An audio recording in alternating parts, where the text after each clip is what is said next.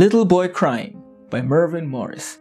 Your mouth contorting in brief spite and hurt, your laughter metamorphosed into howls, your frame so recently relaxed, now tight, with three year old frustration, your bright eyes swimming tears splashing your bare feet.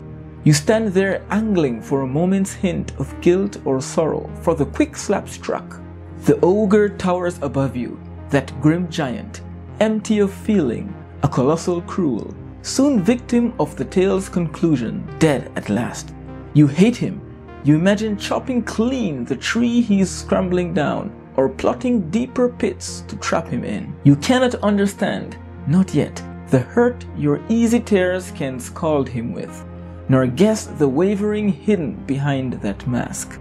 This fierce man longs to lift you, curb your sadness with piggyback or bullfight, anything, but dare not ruin the lessons you should learn.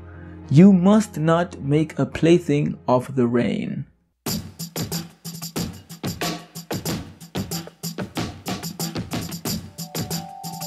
Form-wise, the poem is neither orderly nor overly messy. We see three stanzas of roughly equal length, 7, 6, 6, but then there's a single line at the end that serves as a sort of conclusion. There is no discernible rhyming pattern and no discernible meter, so let's consider this free verse.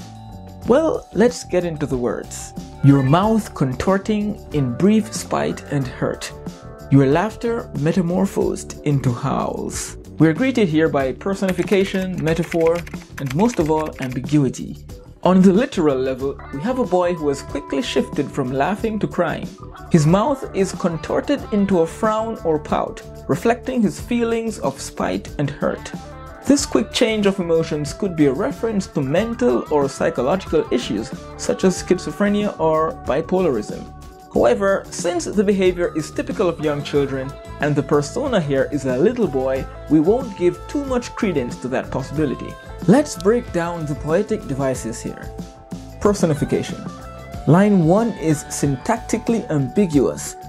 I have a whole video on ambiguity that is either coming soon or has already been posted, so I won't get too much into it here. For now, we just need to realize that there are multiple possible meanings within these lines. The mouth is contorting, but we don't know if it is the mouth itself or the boy that is feeling the spite and hurt. If the mouth has contorted on its own accord, feeling the spite and hurt, then it's a strange kind of personification. Let's look at how metaphor is used here. 1. Your mouth contorting. The boy's mouth is compared to a contortionist, one who is capable of twisting their body into unusual positions. 2. A contortionist, taken less literally, is also one who twists words and phrases this adds a layer of disingenuousness and artfulness, uncandid emotive deception to the boy's crying. Even babies have been seen to pretend to cry to get attention, candies, or toys, so this isn't a stretch.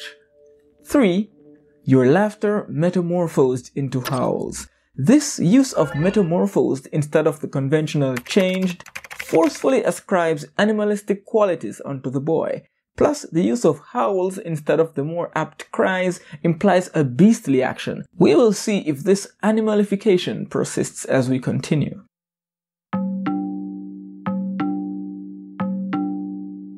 Let's look at some diction. I am truly hoping not to find nearly as many sex references in this poem as we did in My Papa's Waltz, but I get the feeling that mouth contorting in brief is trying to pull us in a very immoral direction.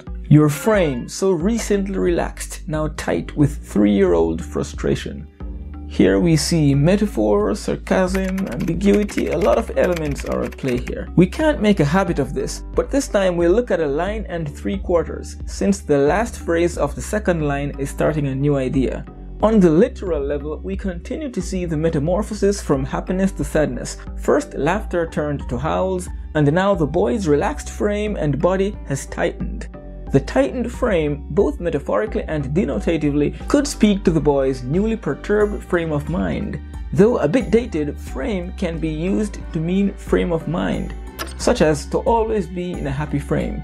Three year old frustration could easily mean one of two things. One, the frustration felt by three year olds, or two, frustration that is three years old. This presents us with another syntactic ambiguity. The first meaning is a little more convenient as it gives us a clear figure of the boy's age. Regarding both meanings simultaneously would mean that the boy has been frustrated literally his entire life. Your bright eyes swimming tears, splashing your feet. Here, a plethora of poetic devices are at work. We have metaphor, onomatopoeia, personification, ambiguity, hyperbole, and idiom, all squished into these couple of words. There's a double metaphor in bright eyes. Bright eyed or shiny eyed means full of youthful naivete. It also means vibrant and lively. This could speak to the boy's inexperience and childishness. After all, he's only three. Soon we'll see that the boy gets a slap, and later we'll see why. The bright eyedness of the boy might be what caused him to act dangerously or foolishly, causing the father to correct him with a slap. Bright eyed is often used to refer to creatures of the night, again animalizing the boy. By extension, bright eyed and bushy tailed idiomatically refers to cats, and it can also mean inexperienced, naive, and excited. So, this single metaphor has within it two distinct references to animals. Now, let's break apart some ambiguity. The entire first stanza is one long jumbled sentence. Looking at it as a whole, there are various syntactic ambiguities that make the verbness or nounness of some words debatable. Getting into and thoroughly explaining some examples of this would derail the poetic analysis and develop an extremely linguistic focus. So let's forego that. If it's something you're interested in, I can make a video that specifically deals with the ambiguity within this poem. Anyway, the ambiguity here makes for two more possible instances of personification. The first one is obvious. The tears are swimming. This would serve to paint the flowing of the boy's tears. The second possibility of personification forces us to consider swim a transitive verb. So the bright eyes become the subject of the tears. The eyes are swimming the tears. Since the aim of swimming is to navigate through a body of water, this could mean that the boy's eyes are trying to navigate or see through the tears. He is crying hard and so it becomes difficult for him to see clearly. Next, let's look at what I call a momentary hyperbole. It appears the tears are so much that they form a puddle beneath the boy, in which his feet splash. This would be obviously hyperbolic. However, the hyperbole is dispelled at the end of the poem, as the last line suggests that the puddle has been formed instead by rain. And if we're counting devices here, we have onomatopoeia in splash, which is there perhaps to provide some audio imagery. You stand there angling for a moment's hint of guilt or sorrow for the quick slap struck. Here we have metaphor and sibilance. Have you ever been hit so hard and so fast that your mind needed a moment to process what had just transpired? This seems to be the boy's plight. He stands waiting for his mind to register the quick slap. He awaits guilt or sorrow, but for the moment he's dumbstruck, or well, struck dumb. Let's look at the metaphor in angling for a moment's hint. Building on the hydrous imagery painted by swimming and splashing, the boy is compared to a fisherman who is now fishing for a hint of what had just happened. Now let's look at how alliteration comes into play. Serpents can strike with savage swiftness, you might hear the ringing hiss of the swift serpentine strike in all those S's I just used. While repeating a single consonant to create a desired effect is called alliteration, when that sound is S, whether caused by S's, C's, or X's, it's called sibilance. The snake-like swiftness of the slap the boy suffered no sibilance intended, is reflected by the sounds in stand, moments, sorrow, slap, and struck. This sibilance also serves to sneakily continue to animalize the boy. There are three other ways in which the slap's swiftness and intensity are reflected. 1. The speaker does not tell of the action of the slap. Instead, only the boy's reaction to the slap is mentioned. In anime and even in some movies and shows, one excellent way to show speed is to not show an action that is done, but rather only the action's effect or a character's reaction to that action. Another way in which the words we see, well in this case the words we hear, mimic the slap's speed is in the shortness of the last three words, quick slap struck. All monosyllabic, these words just sound like fast linguistic jabs. And 3. Still looking at the last three words, we see not only a phonetic quickness, but also a phonetic power.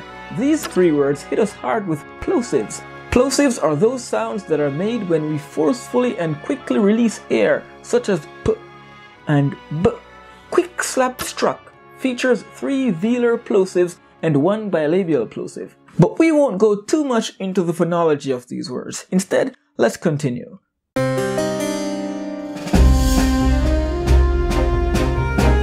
The ogre towers above you, that grim giant, empty of feeling, a colossal cruel. Here we have metaphor and hyperbole.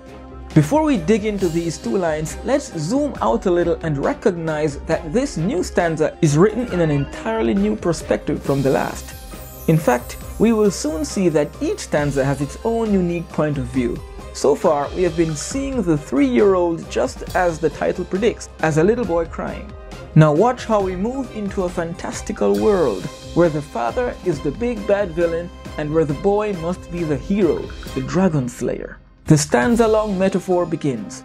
The father is called a giant and an ogre, both of which are monstrous and usually considered evil, now we see the world through the eyes of a three-year-old who has watched too many cartoons or has been read too many fairy tales. The purpose of this metaphor is clear. Like an ogre or giant, the father is, from the boy's perspective, a big bully whose only aim is to make the lives of little boys miserable. Hyperbole is also obvious here and amplifies the metaphor's effect. The overwhelming size of the father is increasingly exaggerated. These two lines give us three stages. First, he is a towering ogre. Then, he is a grim giant. Finally, he is a colossal cruel. At the final stage of this triple-tiered hyperbole, the father gets called a colossal cruel. Cruel is an adjective forced into nounship to make a point. This father, in the boy's eyes, in this moment when the slap has been registered, is the definition, the embodiment and incarnation of cruelty. Is this really how kids view their parents in a moment of punishment?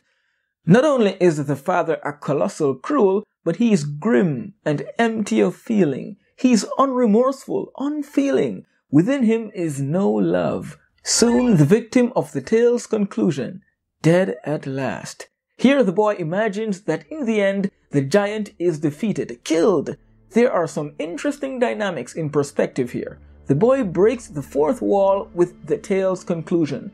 This could mean one or more of a few things. One, he's aware that the giant's defeat is only fictional.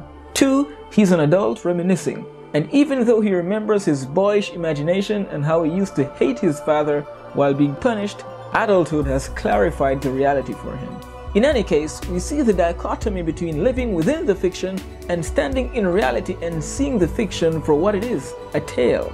You hate him. You imagine chopping clean the tree he's crumbling down, or plotting deeper pits to trap him in. Here, the boy reflects on the hatred he has for his father and on how badly he wants to kill him. In his fantastical battle, the tables are turned, and the great big giant is the one scrambling, running for his life. You cannot understand, not yet, the hurt your easy tears can scald him with, nor guess the wavering hidden behind the mask. Here we see metaphor and dramatic irony. Alas, the third stanza is a quick wakefulness from this heroic dream. The tone shifts from passionate hate to somewhere between patronization and sympathetic understanding. We have a new perspective. We, the readers, are shown that the father is far from empty of feeling. In fact, he is deeply wounded by the boy's tears, and this external toughness is just a mask that he wears to hide his wavering. He feels forced to apply tough love, even though it's painfully difficult for him. The slap that he gave the boy seemed to have hurt him, the slapper, more than it had hurt the slappee. Parents may be able to relate to this internal conflict. While we, the audience, are made aware of the father's true feelings, the three-year-old boy remains oblivious. This is the classic case of dramatic irony. Now let's look at two metaphors here. One, the hurt your easy tears scald him with. The water references continue for some reason. Here, the boy's tears are hot water that burns the father. Maybe under that mask of his is a face full of scars. The second metaphor is the mask, which symbolizes the tough exterior that the father shows when disciplining his son. The fierce man longs to lift you, curb your sadness with piggyback or bullfight, anything, but dare not ruin the lessons you should learn. Without context, it would appear ironic that this fierce man longs to play with his child, but by now we understand that this fierceness is only a facade that has shaped the boy's perspective. These lines show us the true desires and feelings of the father. He wishes he could do all of these fun little things with his son, but he feels compelled to be strict for the boy's own good. And finally, you must not make a plaything of the rain. Here we see why the boy was slapped by his father. It was for playing in the rain. This line acts as an answer, a conclusion, and it feels almost anticlimactic now that we see what all this fuss and emotional roller coasting was about. The boy was playing in the rain and needed to be taught a lesson. All of the images that pointed to water have culminated into this final scene. You must not make a plaything of the rain. And as always, Thanks for watching.